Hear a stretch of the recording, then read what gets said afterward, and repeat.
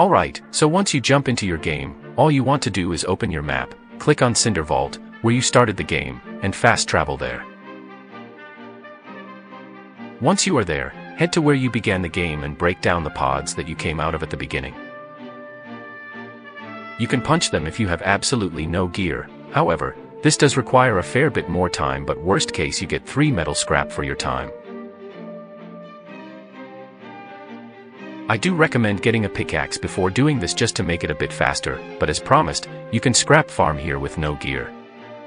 Once you've cleared all the pods, just quit, log back in, and repeat.